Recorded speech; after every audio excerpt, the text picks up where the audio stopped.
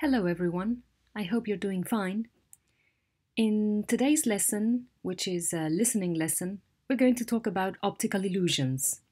So the first thing we're going to do is have a look at some pictures that show some optical illusions and I would like you to think about um, what the illusion is. Um, what can you see in this picture? What kind of illusion is it? How was it created? What do you think?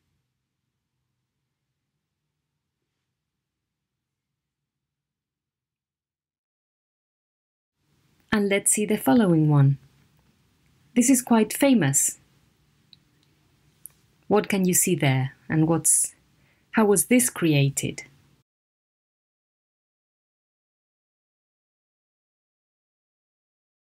And this one?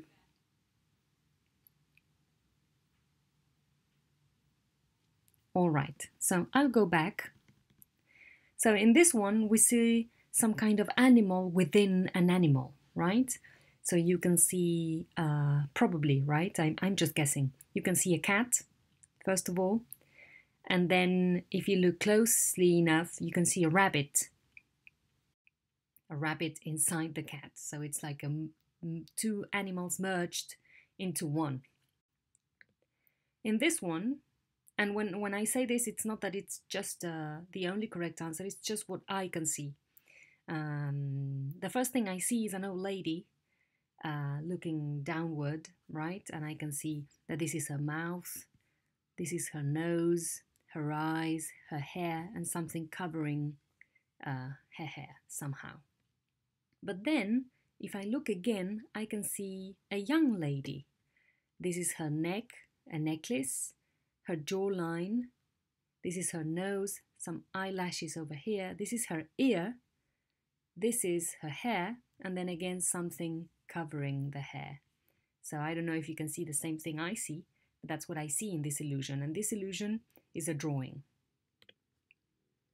And the third one is an illusion created in some kind of, with a, with a photograph, right? The photograph of a man that was cut in such a way that you can see this in two ways, uh, in my opinion. You can see this uh, from the side as, as if the man was looking to his um, was looking right mm, to the right direction, or it's a picture from the front of the man and has been cut, and so you can see half his face somehow. So these are the illusions that I can see. I hope you could see the same ones. So what you'll need for this lesson is two pages from uh, the Unit 6 file on Edmodo. So first of all, we're going to work with the Power Up activity. Then we're going to go to the Listen Up activity, where you have two activities two, three, four, and 5, and then the Speak Up activity, which is meant for you to record, same way we've been doing so far. Then you're going to need this other page also in the file where you have further listening activities. You have activity 1, 2, 3, 4, and a timeout activity that is just meant to be a little bit uh, of fun to see how much you know about these uh, characters. All right? So these are the two things that you will need for this lesson. Now we're going to start with the power up activity.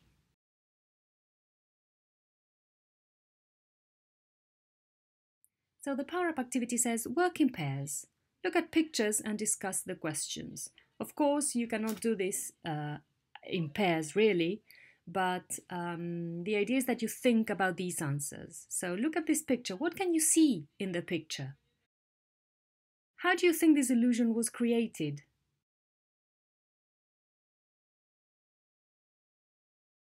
Can you describe any videos with illusions or tricks that you have seen? We have seen some before uh, we started this um, with this activity, but I mean others. And I'm going to show you some sample answers to these questions. So as you can see there, someone might say that it's a picture of an empty table and it has been taken on the tablet. a coffee cup has been placed on top of the tablet and another photograph has been taken from directly above to make it look like the cup is part of the photograph on the tablet. Mm? So that's uh, how this illusion was created, let's say. And then, as regards the second question, someone might say, one of the best illusions I've seen was a 3D pedestrian crossing. It was just painted on the road. But the way it was done in 3D made it look like there were rectangular blocks on the road. It looked really cool. And more than that, it had a useful function. Apparently, it was great for getting cars to slow down. So that's uh, just someone describing an optical illusion. My challenge for you here is that you try and find the picture of this optical illusion being described here and you post it on Edmodo. Let's see if you can get it. Now let's move on to exercise 2. In this exercise, you have to listen to an interview with Javier, an illusionist and filmmaker, and Maria, a journalist. Why do you think Javier has been so successful? So just you just listen to answer this question. And of course, all of these activities are on the page. So it, the, the best thing you can do is just solve them on the page. Now let's just listen. Recently, a three minute video has been circulating online showing a young man doing the impossible. He jumps through closed doors on a moving train. The video has got over 35 million views and was made by the 21 year old illusionist and filmmaker Javier Perez. He's here with us in the studio today. Welcome to you, Javier, and to Maria Teller, a journalist who has been very critical of this type of video. Hi. Okay, well, first of all, Javier, I'm sure everyone wants to know how do you go about putting together these incredible videos? Because nothing is real, is it? Uh, no. it actually needs hundreds of takes before you get the right one. And then to create the effects, it's about getting the right place in the video footage and doing some careful editing. A lot of people try to overcomplicate things with software. Many people think I use special effects programs, but I don't. For me, that would be cheating. I realized that I could do much better and get more hits by making videos that appear to defy the laws of physics. So, Maria, does that satisfy your past criticisms about photoshopping and so on? well, to some extent, yes. In my role as a journalist, I spend a lot of time ensuring I report accurate information to the public, so I do object to these videos which show something which essentially isn't true. I think they alter our judgment and understanding of what's possible and leave us less able to respond to real life issues. All right. So let's see, what do you think? I'll leave a sample answer here because he's technically very good and creative and spends time on his videos. Uh, so dedication is key for his line of work. Now we'll move on to the next exercise. Now I'm going to read the task and identify the key words. Think of different words and phrases to express the key words. So in this type of listening task, the question and the options can be quite long. So if you attempt to read everything at the same time and solve everything at the same time, it can be a bit overwhelming. So the time you're given before you actually listen um, should be used for you to spot those words that will guide your listening.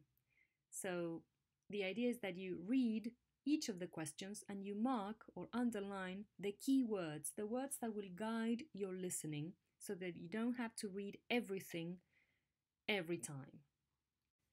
So I'm going to ask you to pause your video now, uh, underline the keywords that you can find, and then press play again for you to see the sample answers. So these will be the sample answers. For question one, it would be making videos feels and then gratified interviewers' interest, proud a result of something, in this case technical skills, satisfied sophistication, worried and dishonest. Then for the second one, it would be thinks videos affected lives, challenged profession, changed the way we think, and prevented discussion. For three, agree, upset, educational tool, drawing a new audience, way to raise discussion. So if you had similar things to this, this is not just one correct answer. Sometimes the underlining is a bit more personal, but in general terms, you should at least have underlined these words. Maybe you underlined more words than these, but as long as you have these ones, you will be fine. So let's see four. Would be suggests. The success, allow perfect, unusual, wider variety. Uh, for five, view, controlled, damaging, bad way achieve popularity, different effects, different people. And finally, for six, both think, always disagree what's best, audience growing, be able to sort illusion from reality, more discussion, problems. So these are the words that will help you guide your listening. So now that you have these, let's actually listen. We're going to skip the exam tip because the idea is that you you read it you read it on your own if you want to, but it's basically the same thing we've done uh, right now, spotting keywords.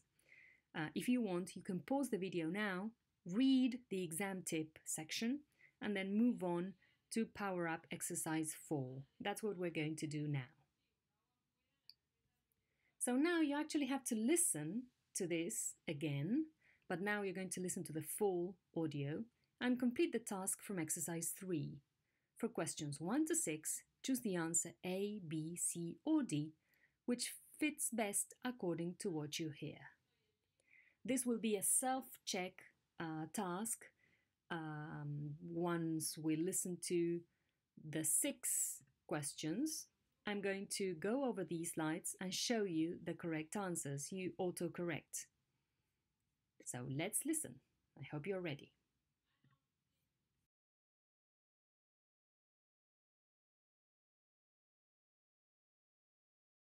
Recently, a three minute video has been circulating online showing a young man doing the impossible. He jumps through closed doors on a moving train. The video has got over 35 million views and was made by the 21 year old illusionist and filmmaker Javier Perez.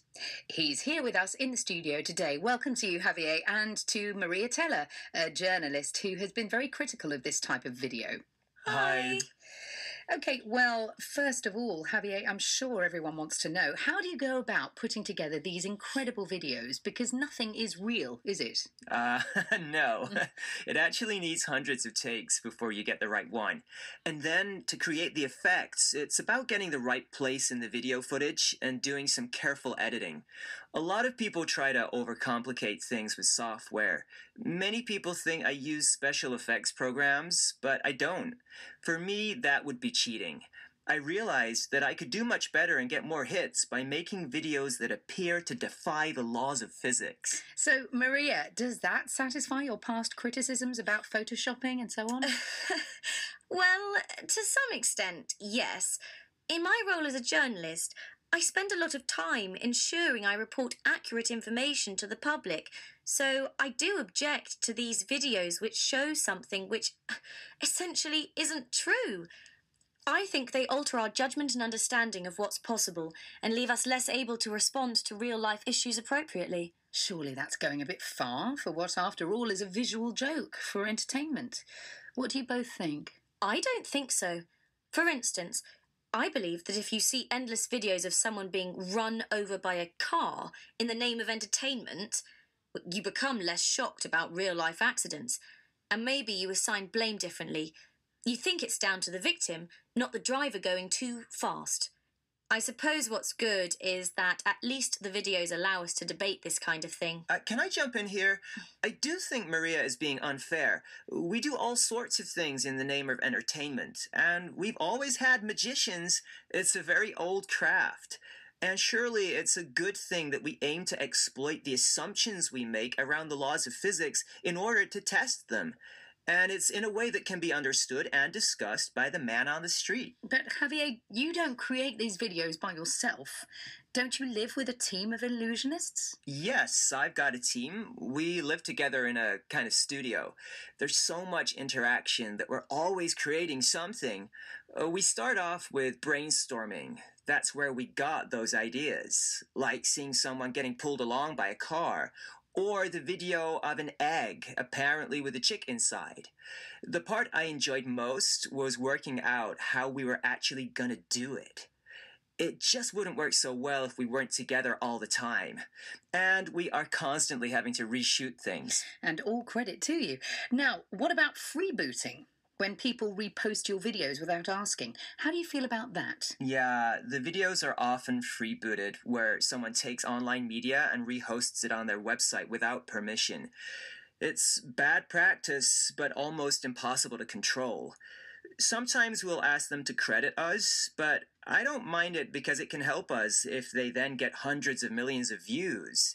But I do understand how hard it is for other people who spend hours creating stuff and then someone just steals it.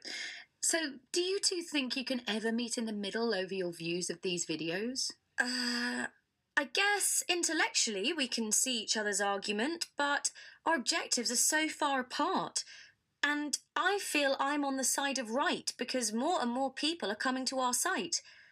Having said that, I do think audiences are becoming more sophisticated and more discerning about what they want to believe. Yes, these illusions will forever be a thorn in the side of the press, but I'm sure the discussion about reality will act as a kind of transparency for the truth. And ultimately, people are not silly. Hmm. Well, thank you both. We will watch with interest.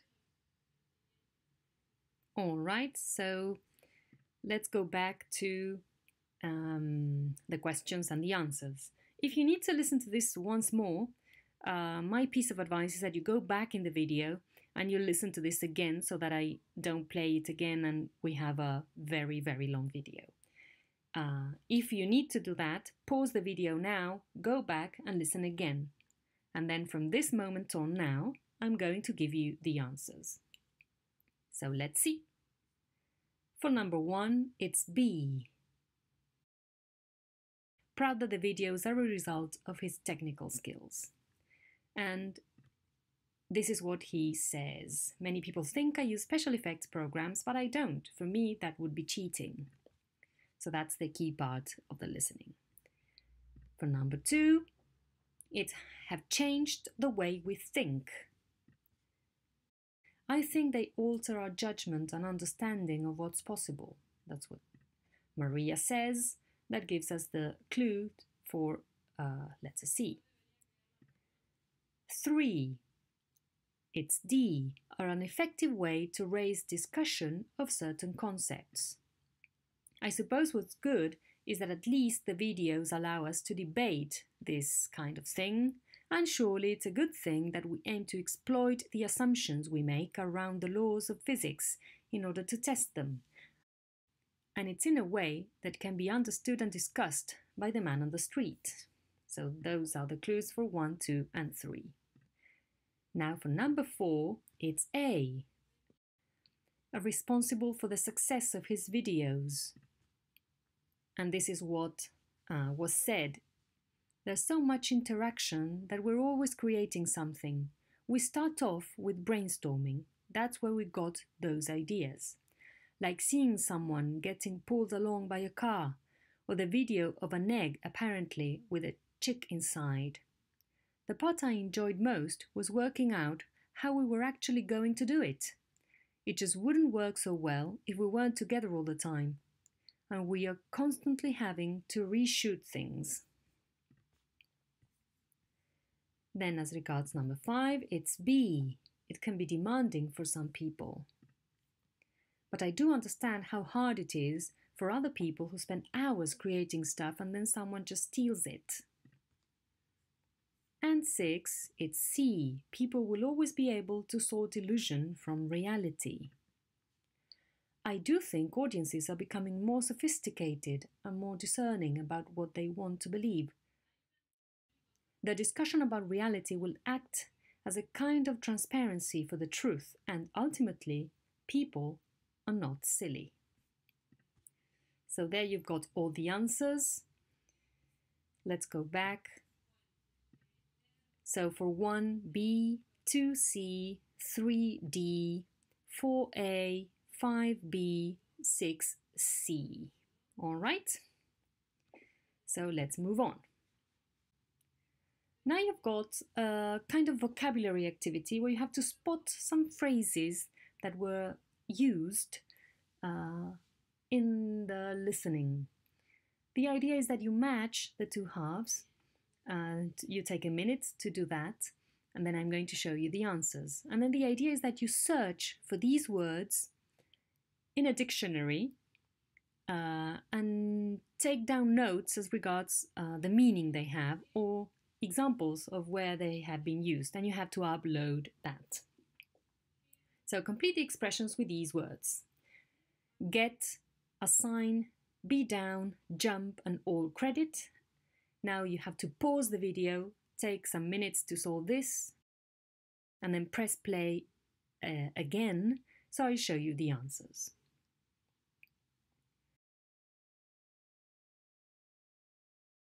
Okay, so the answers are get a hit, assign blame, be down to, jump in, and all credit to. So now your job is to try to look for these words and examples of these expressions being used so that the meaning is clear to you. Let's go to the last activity now. It says work in pairs and discuss the questions. You're not going to do this in pairs, but what I would like you to do is to think of your answers for these. Please do not write them down beforehand. Just think about them and then record yourselves uh, answering these questions and you send the audios in the assignment in Edmodo. In the era of computer generated images, can we believe anything is real? And two, is seeing, believing. All right, so these are the last two questions from this part of the lesson. Your job now is to stop the video, record these and get them ready, or you record them at the end, all right?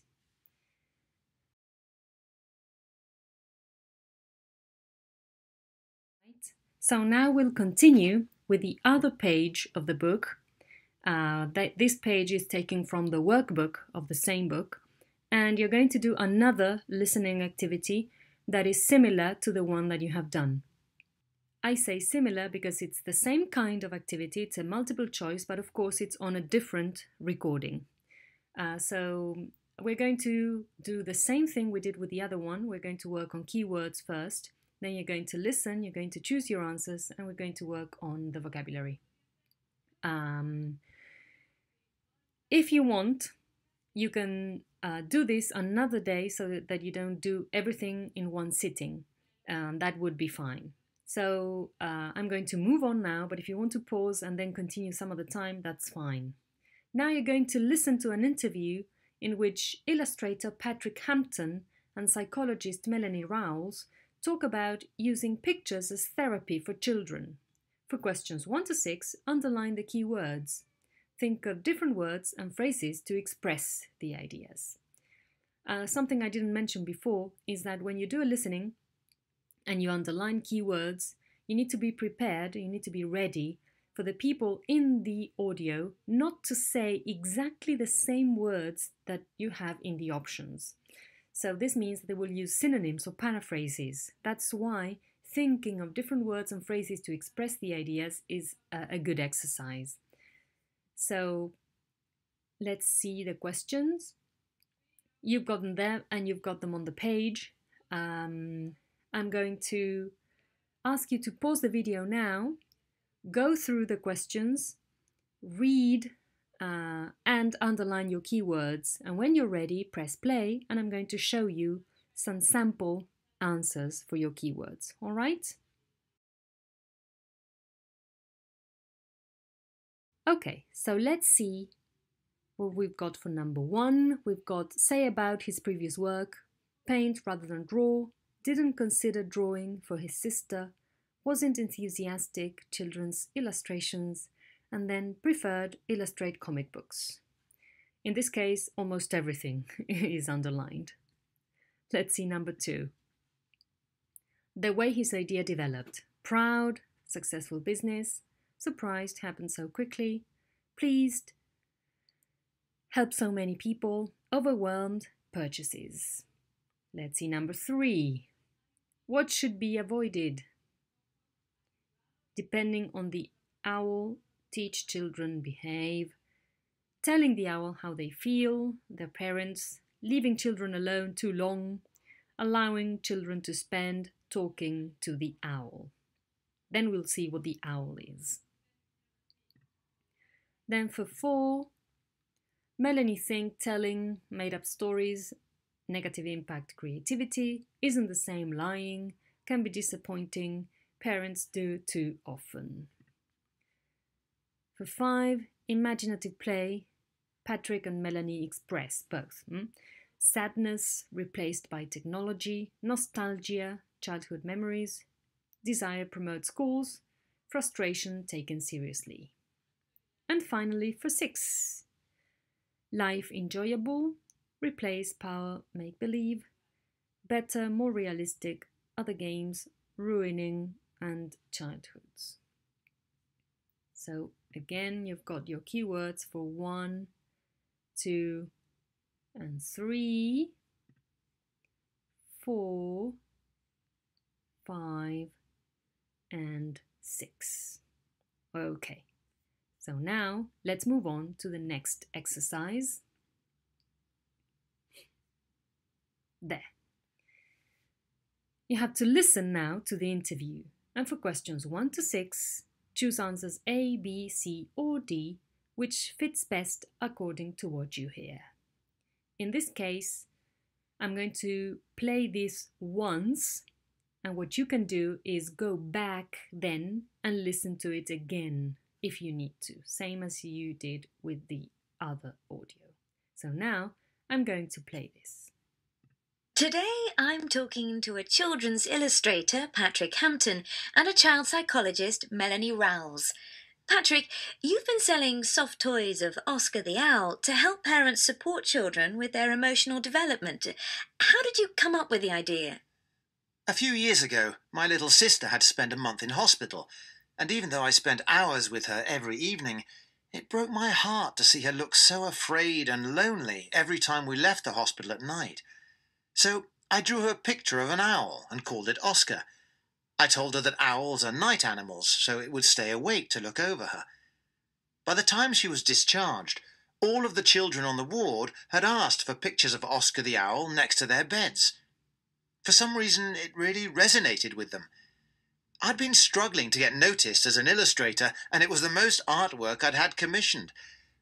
Although I've always drawn doodles for my sister, I'd never thought about children's illustration as a career. It seemed too silly, and I thought of myself as more serious. But I figured that I had nothing to lose, so I developed the character of Oscar the Owl more and invented a short backstory, then started selling different versions of the illustration on a peer to peer e commerce site. How long did it take you to start making regular sales? It actually gained momentum pretty quickly and I was able to set up my own website dedicated to Oscar the Owl. Eventually, I was able to raise enough capital to start producing and selling soft toy versions of Oscar. I realized that I'd tapped into something special when I got a call from a children's author telling me that she'd been inspired to turn the idea into a series of storybooks and asking me to illustrate it. I've also had emails from teachers about ways they've used Oscar in the classroom I honestly had no idea that it would be used by so many people in so many different ways. But given that the premise is uncomplicated, I suppose it makes sense that people could connect with it and use it as a springboard for development. Melanie, from a psychological point of view, what benefit can something like Oscar the Owl have for children? Actually, Oscar the Owl can be used to exploit some very serious issues, such as bereavement and abandonment. Children often feel more comfortable sharing their feelings with imaginary creatures, and the owl is traditionally seen as a wise, solid creature. While I wouldn't recommend allowing children to become too reliant on Oscar the Owl, or indeed any other physical substitute for human contact, being able to open up about things that are troubling or upsetting them can help process difficult feelings. This is especially useful for children who are more withdrawn, or children who may be developing emotionally at a slower rate than normally expected for their age. Children are known for having very active imaginations and believe that Oscar the Owl is real. This can also be exploited by parents as a tool for reinforcing positive behaviour, for example, by writing notes from the owl, thanking the child for tidying up their bedroom. Do you think it's dishonest to encourage children to believe that something is true when it isn't? Not necessarily. While some psychologists believe that leading children to believe that certain things exist when they don't can inhibit their imagination, I think that it feeds their imagination. It's possible that children may feel let down to learn that something isn't true, but make believe isn't about tricking children into believing something. It's about presenting them with a situation and then letting them take it from there. Children actually learn to differentiate between fiction and reality at a much earlier age than many people realize, so they are able to understand that what they imagine isn't necessarily possible in the real world. Finally, how important do you think imaginative play is in the age of technology? Oh, incredibly important. I can't stress just how important it is. Children benefit enormously from games of make believe as it stimulates the learning process. If you ask me, there's no harm in indulging children's naturally inquisitive natures, especially when real life can be so bleak sometimes, and some children have to deal with tough situations at a young age. I grew up in the countryside, having adventures in the woods, fighting battles with sticks, and making friends with the people who lived in the river. It makes me uncomfortable to think that a generation might miss out on the simple pleasures of running around on a made up quest in favour of an electronics based one. I see the difference in the way that they play and the games that we used to play when we were younger. Children spend so much time on screens nowadays, and while I recognise that there are some fantastic interactive games out there, for me, nothing beats traditional play. Even the most advanced electronic games are limited to the specifications of the software, whereas there are no limits on what a child can create using a cardboard box. All right. So if you need to listen to this again, of course, you press pause and you go back. Now I'm going to show you the answers. So for number one, it's C. It seemed too silly, and I thought of myself as more serious. 2. B. I honestly had no idea that it would be used by so many people in so many different ways. 3. D. While I wouldn't recommend allowing children to become too reliant on Oscar the Owl, and she goes on. In 4, it's B. Make believe isn't about tricking children into believing something. It's about presenting them with a situation and then letting them take it from there. 5b. I grew up in the countryside having adventures in the woods, fighting battles with sticks and making friends with the people who lived in the river. That was Melanie. And then Patrick says, I see a difference in the games that we used to play when we were younger. And finally, 6b. It makes me uncomfortable to think that a generation might miss out on the simple pleasures of running around on a made up quest in favor of an electronics based one. That's Melanie. And then Patrick says, whereas there are no limits on what a child can create using a cardboard box. So those are all the answers 1C, 2B, 3D, 4B, 5B, 6B. A lot of B's there. Hmm? Let's move on to exercise 3.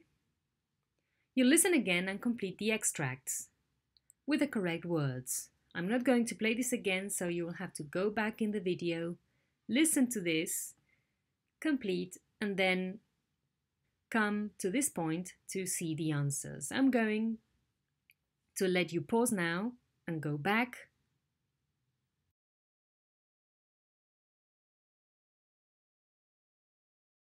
Here are the answers. It actually gained momentum pretty quickly, and I was able to. I realized that I'd tapped into something special when, given that the premise is uncomplicated, I suppose it makes sense that. And four, this can also be exploited by parents as a tool for reinforcing positive behavior. 5. Children actually learn to differentiate between 6. Children benefit enormously from games of make believe. If you ask me, there's no harm in indulging. And finally, 8, especially when real life can be so bleak sometimes. So you've got all the answers there. 1 momentum, 2 tapped into, 3 premise, 4 reinforcing, 5 differentiate, 6 enormously, 7 no harm, and 8 bleak. Let's see exercise 4 now. You have to match the words from exercise 3 with the synonyms from A to H. So we have momentum tapped into premise, reinforcing, differentiate, enormously, no harm, and bleak. And we have supporting, greatly, idea, not a bad thing, make a distinction, discover, driving force, and hopeless. So I'm going to give you a minute now for you to complete this task. You have to pause the video, and when you're ready, you press play again, and I'm going to show you the answers.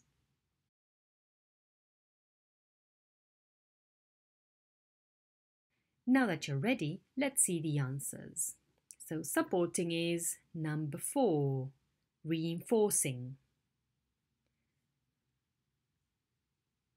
Let's see, be greatly is number six, enormously. Let's see, C, idea. Idea is number three, premise. Now D, not a bad thing, is seven, no harm. E, make a distinction, is number five, differentiate. F, discover, is number two, tapped into. Tapped into is in the past, you should notice that. So it should be discovered, tapped into, or discover, tap into. G, driving force, is number one, momentum. And H, hopeless, is eight bleak. All right, so I hope that these phrases are clear. In case you have further doubts, please don't hesitate either to ask me or check with a dictionary. But these are very, very cool phrases and synonyms to start using. Hmm? And finally, let's see how much you know about these characters. Which of these famous characters do you know? Match the characters 1 to 8 to the dates these characters were first aired or published. So Snoopy, Mafalda, Dora the Explorer, Scooby Doo, Mickey Mouse, Pikachu, Paddington Bear, and Hello Kitty. Let me tell you, people, I know all of them, but I have no idea when they became famous or when they were first published or aired. So I'm with you here. I have no idea. So let's play. What do you think about number one, Snoopy? Mm, Snoopy was 1950. Mm, quite old. Hmm. And what about Mafalda? Do you know about that one? It was B, 1964. Hmm. Dora the Explorer is a bit younger, I think. Yeah, the year 2000. Scooby Doo. I don't think Scooby Doo is as old as Snoopy or Mafalda, but I have, I don't know. Okay, yeah, 1969. Mickey Mouse? Mickey Mouse is old. Yeah, 1928, that's right. Pikachu, a bit closer to this date, I think. Yeah, 1997, so a bit older than Dora the Explorer, but younger than most. What about Paddington Bear? 1958, and so we are left with Hello Kitty in 1974. All right, so that would be all. Uh, I hope you could follow the tasks easily. Um, I hope to see you soon again. Bye.